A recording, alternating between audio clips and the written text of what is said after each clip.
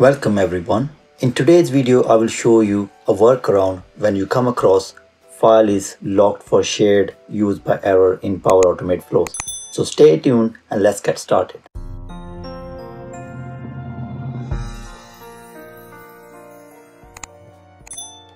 I recently encountered an issue within one of my client workflow. The Power Automate process is straightforward where a user is sending a document for review.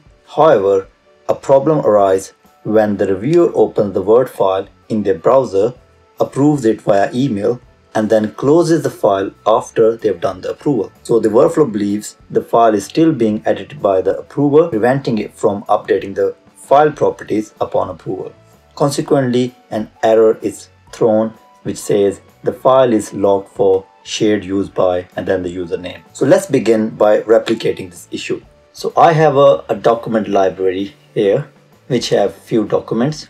I've created a very simple flow which trigger when I select a file. So the trigger of this flow is on a selected file. Um, and then I'm starting an approval process. I'm assigning this task to Adam. So he is one of my approvers. So he needs to approve this document. So after the approval, I want to update the file properties in the same library with the comments. So there is a comment column in the file metadata. I want to update the comment based on the approver's comment. So whatever response I get from the approvers, I want to add into the comment. Let's start this process. So if I go back to the site A, let me show you the approver flow name. So flow name is document review. If I go to site A and then if I select document 1 and go to automate and then click document review flow. Okay, one thing to note is that flow is actually configured by my username and Adam is another person who is going to approve it. If I click on flow, run flow, now the flow must start. So if I go back to the flow history, I can see the flow is running. Okay, so it has started the approval process. Let me log in as the Adam account. Okay, so I'm logged in as Adam now.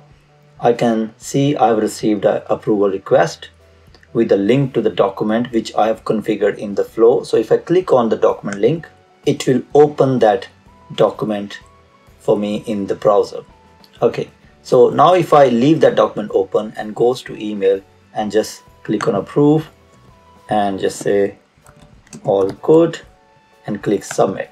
Once I submit the approve, because I had the document open, now the flow is gonna fail.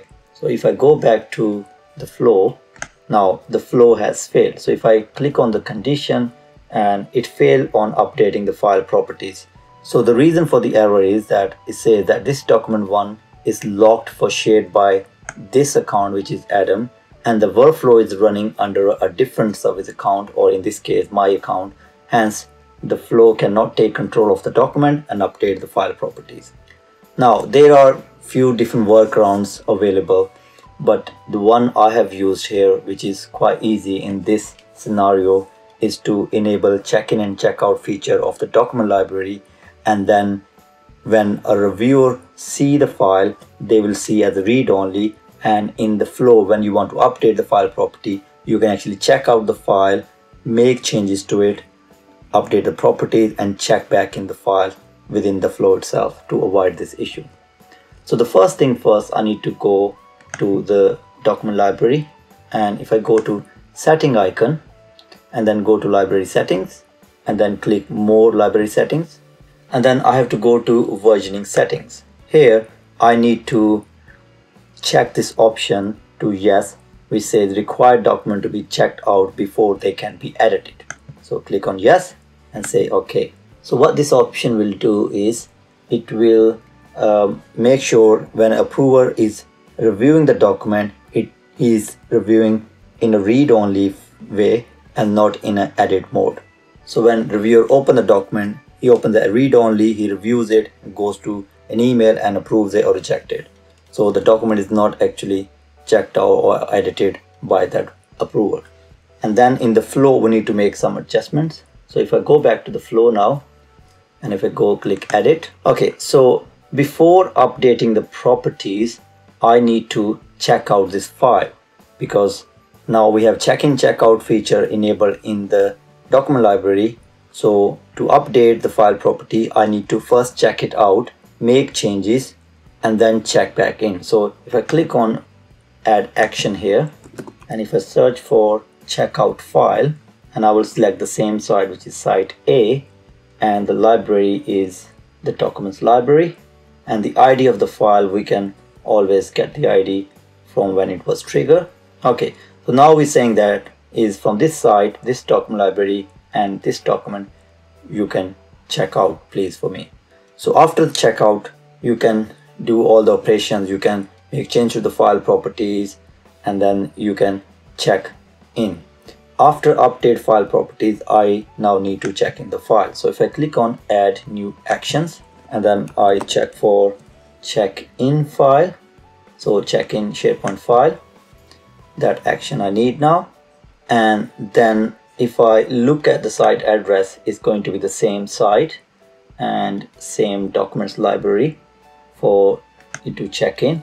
And the ID of the document remains same so we can get it from the the first trigger when the file was manually trigger for review process and then the comment. So this is the comment when goes into the the check-in checkout history that you know who make the change. So we can say uh, flow checked in the file. Okay. And then the check-in type we can see a minor version which is a draft version or you can do major version which is public so if we if this is an end of a process I will go with the major version and publish this document. So that's it. If I click on save, now the flow is ready to trigger again. If I go back to this uh, document now, I'm back into the library and I'm selecting the same file again, click on three dots and then go to automate and click document review. Okay, now I will click on run flow. Okay, so the flow has started. Let me go back to the flow page to see if it has started so we can then move to the other user and approve it. Now you can see the flow is running so if I click on the flow job you can see it is running and it has started an approval process. Now let's navigate to the other person. So I would receive an email saying yeah I need to approve this request. I can click on this document link again. I can see the document and the content the only difference here is now this document is in a read-only format. If I try to type it, I can't type. It says it's a read-only format. So for an approver, the person just need to review the document, uh, either approve or reject it. So it doesn't need an editing capability anyway. But if they want to do it, they can go and edit document and make changes and check back in. Also in the flow, you can check there is a property which says checkout enable or disable so you can say if you check out true you can check back in before you can uh, check out again to make file properties changes in the in the file. So there there is an option available for that as well. So okay so the file is still open and I can go and click on approve. Let me just put some comments in here. This is looking good and I will click on submit. Remember this time file is open and I have submitted my approval. Now if I navigate back to the approval flow. The flow has completed successfully. You can see if I go into this condition the flow has checked out the file. It has updated file properties uh, with the comments. You can see the approval comments.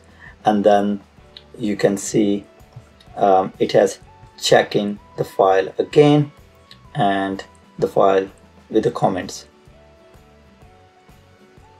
Cut. And you can see it has checked in file again with the check-in comments and check-in type is 1 which means that is published.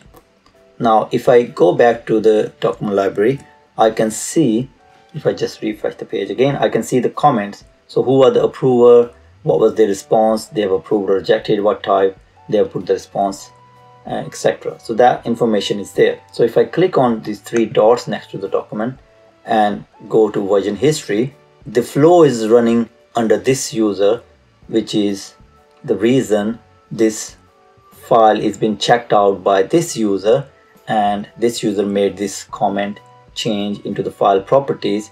And you can see the check-in comments here that Flow checked in the file which means that this is not a human who is doing the check-in. It is actually the flow who automated the check-in of the file.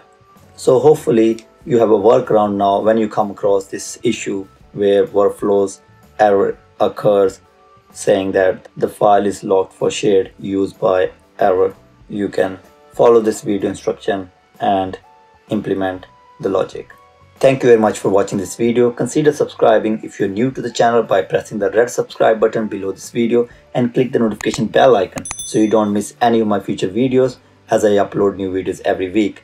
Give this video a thumbs up if you found it useful. If you have any question regarding this topic or any other query related to Microsoft 365 technologies, especially around Power Platform or SharePoint, put in the comment section below. I review the comments on daily basis. I'll be happy to answer your question. Thank you.